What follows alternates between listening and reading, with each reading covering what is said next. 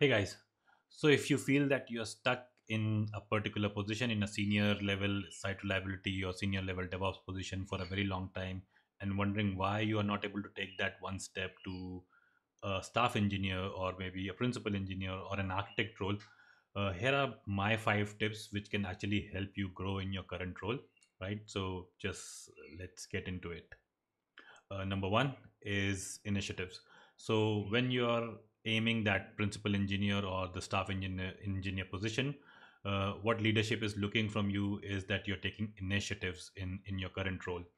Uh, you cannot be just content with what you're doing or whatever is assigned to you. Uh, if you do that, then you're just meeting the expectation of a of your company, right? You're not doing anything excessive. So you need to learn to take initiatives, and the one KPI which you need to develop is creating work in your current uh, role so you can do that by looking at the technical debt in in your current maybe uh, project right? Whatever the technical debt is find it out fix those problem. Even if you're not fixing those problem yourself uh, you need to learn to drive those right? So you should drive them end to end and that's what actually triggers your leadership or your management to see that you have those qualities to take that next step to a staff engineer or a principal engineer position.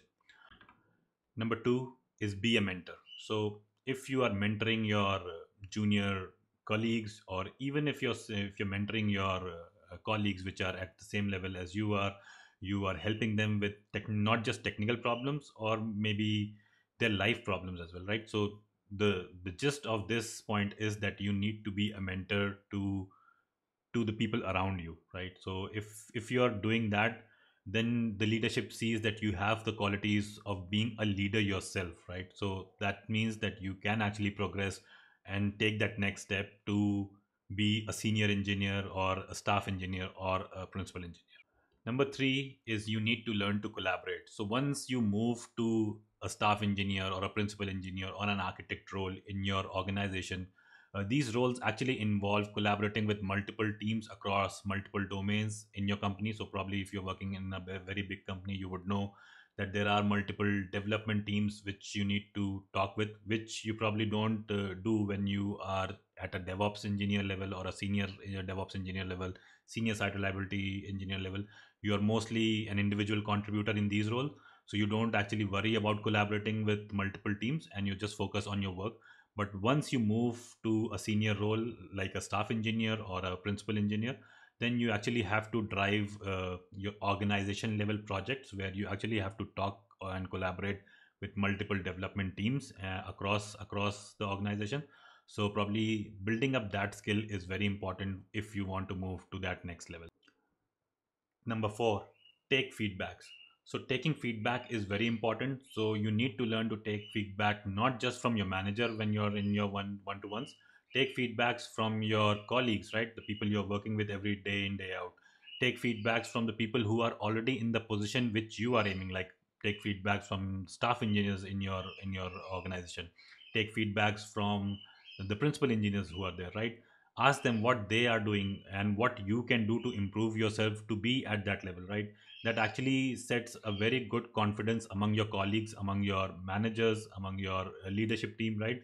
That you are ready to take that next step to be in the position uh, where you are actually willing to improve yourself to get in that uh, particular role right? So that actually helps uh, your leadership team about i mean it clears a lot of doubt uh, about yourself to your leadership team. So probably taking feedbacks is very important and learn to take feedbacks positively. Like even if i mean if someone has uh, something to say negative about you don't take it like that. Uh, if if they are asking you to improve on a particular thing if they are telling you uh, something where you can where, where where you are actually lacking uh, learn to take uh, that positively improve on that and then go back to them maybe a few months later just to see your progress from their point of view right? How have you progressed? So that that that is a very important point if you want to move to that next level.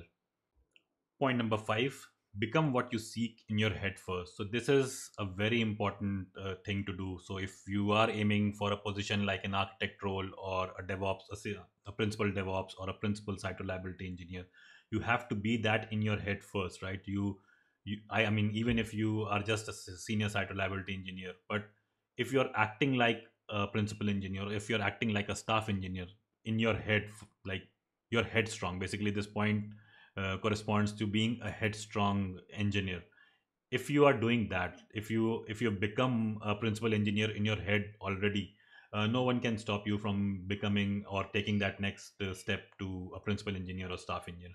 So become what you seek in your head first and that's pretty much it. That's all i have. These are the five points which i probably want you to take if you want to move to that next level in in your career.